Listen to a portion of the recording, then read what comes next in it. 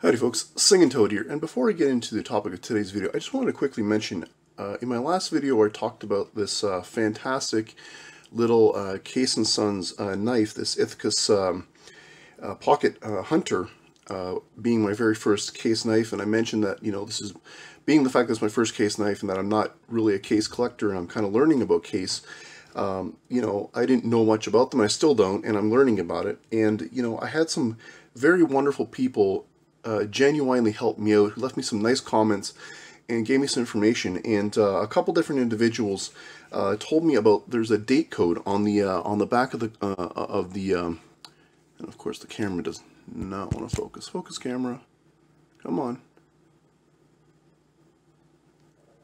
Oh, there we go. Can you see that now? So right there, there's a date code. So it says um, 063020. So uh, I'm, I'm, assuming that's June 30th of 2020 was the manufacture date. And that's super cool. Um, I did not know that. Uh, that is not a super common practice amongst all knife manufacturers. I wish it was. I wish all brands did that, but um, you know, some brands don't give you any type of uh, date information on their knives whatsoever, and it's a mystery to try and figure it out. And uh, and you got to go to websites and forums to try and figure out when a knife was manufactured. Some brands like Buck have a mystical code series that you have to decipher on their website. Um, and then of course Case puts it right there, which is really nice to see. So that's that's super awesome. And I got to thank uh, those people who pointed that out to me. And there was a couple different people who pointed that out. And thank you very much. You know who you are. I thank you very much for that. Um, also, um, it was, uh, I think it was Tom from Knife Delights who pointed out uh, that this is actually a vault pattern series uh, knife, which means that um, this is a pattern that they, they, they take out of the vault, if you will, and do a, a production run um, for a limited amount of time, and then that design pattern, you know, goes back in the vault, uh, so to say. Uh, making that this knife here extra special because it's not a super common pattern um, from my understanding uh, at least. So uh, again, I just want to say thank you to those individuals who gave me the information about the date code and about the uh, the vault pattern. Um, that's that's super awesome. And you know, uh, I just can't thank the people in this community enough uh, for the kindness, the generosity, and the sharing of information and helping uh, people like myself out, um, you know, greatly. Uh, I thank you very much. So without any further ado, let's get into the topic of today's video. Howdy folks, Singing Toad here, and thank you very much for watching my video today. I just want to start today's video by saying this is not going to be a formal knife review. This is going to be more of a talking video, so I do apologize. Um, but uh, I just got this knife in and I want to talk about it. Um, and, uh, you know, before I, I get up into the actual knife, I have to say, tell the story of how I got this knife, where it came from and all that. Um, a while ago, I want to say roughly a month ago now, um, I was entered into a draw by Tobias Gibson. Uh, he did a giveaway uh, on his channel, uh, and, uh, and I, unbeknownst to me, I didn't even know I was in the draw. Uh, but uh, I, I, won won that giveaway. he was giving away a knife, and now what happened is you know, he reached out to me uh, and uh, to say, you know what, I'd won the draw, but he realized that he, this knife might be a problem to try and ship it across the border. Tobias, of course, lives in the United States. I live here in Canada, and he, we both decided that, yeah, it's probably not a smart idea to try and send it across the border, especially right now with the weird CBSA just being weird. Um, it was a better idea not to do that. So he then asked me um, if I would like to, you know, pick a different winner, and then he would come up with something else uh, for me as a consolation prize.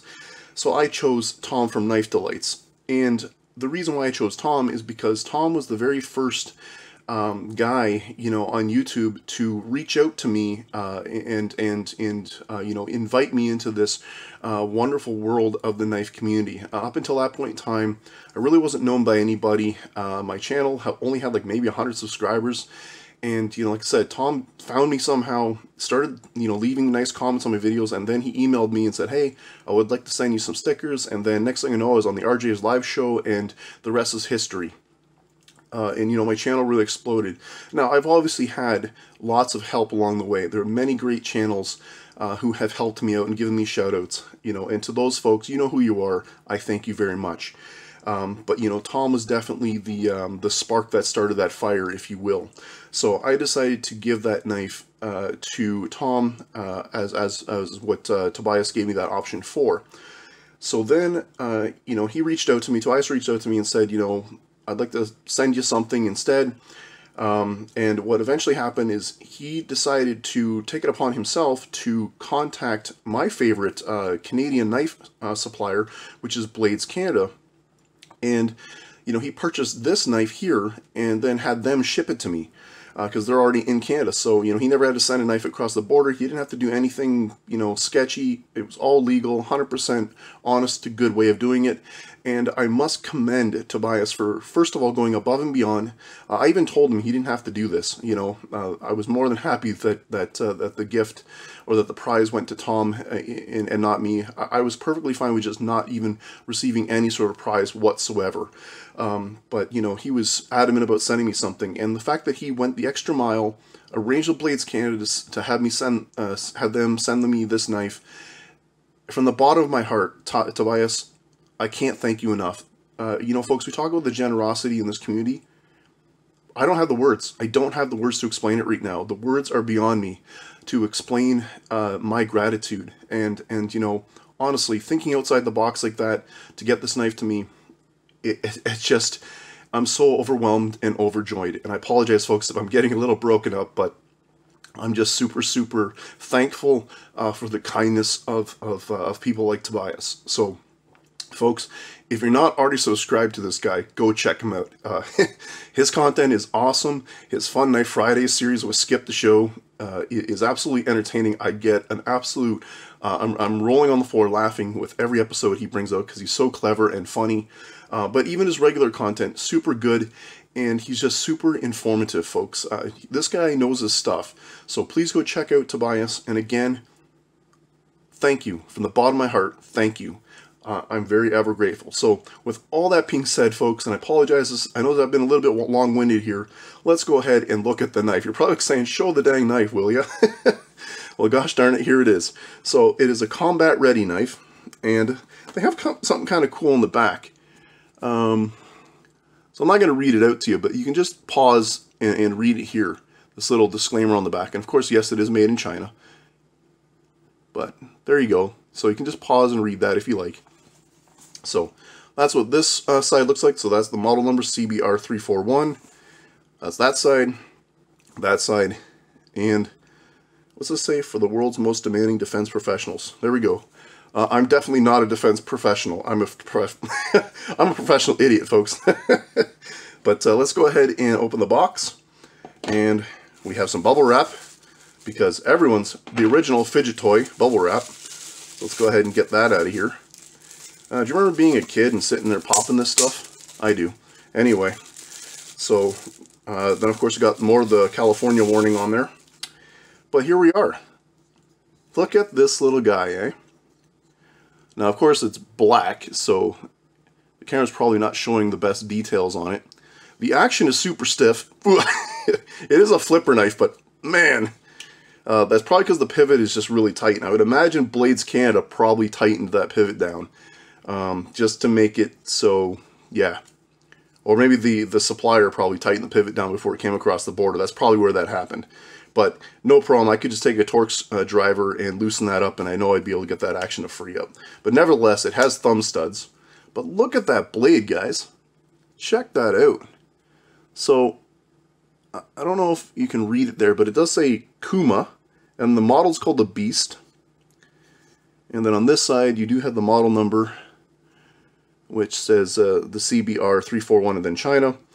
Uh, from what I understand, this is in the blade steel of AUS 8, and then of course it has the G10 handle scales. They are nicely milled out and contoured. It is a liner lock, has a pocket clip. Pocket clip is reversible to the other side. And there's some schmutz on there. That's from me though. It Has a wicked recurved blade, and then of course this Tonto edge.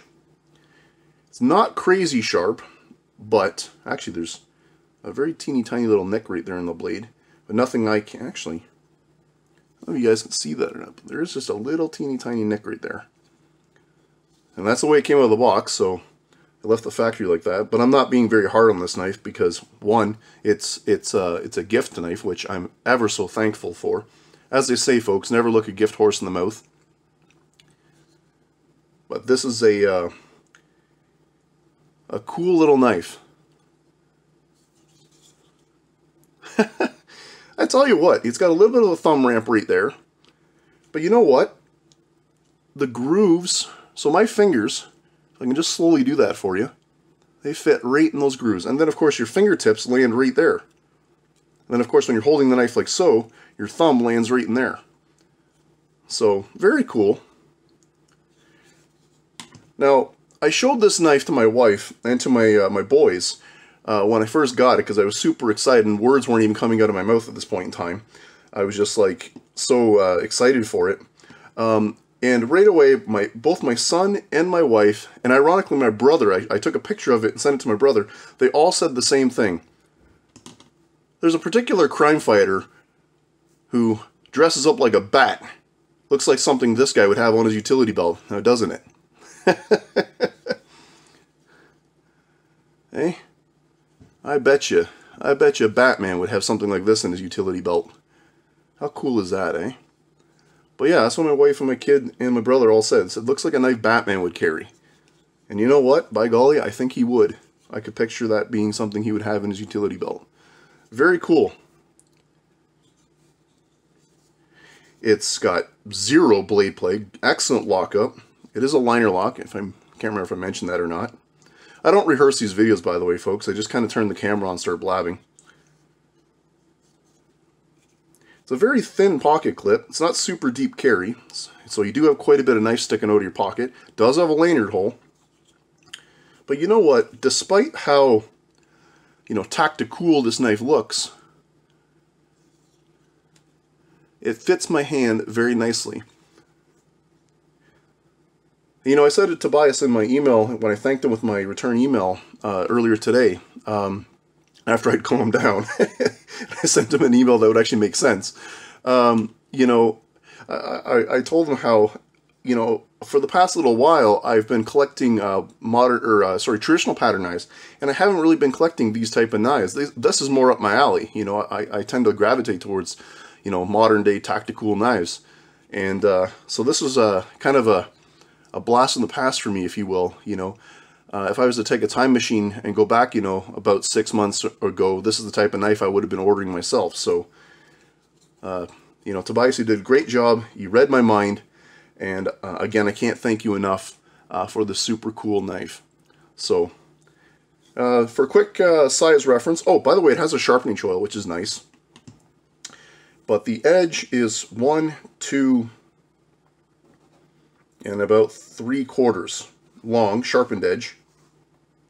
And if we're counting from the from the end of the uh, handle here, you're about one, two, three, or hold on a sec, I did that wrong. So one, two, three and a quarter. So the sharpened edge, let me back that up, is one, two, two and three quarters. Sorry, the sharpened edge is two and three quarters, and uh, three and three and a quarter for the uh, for the full length. So just to give you a quick idea of the size. All Torx construction. This thing's solid.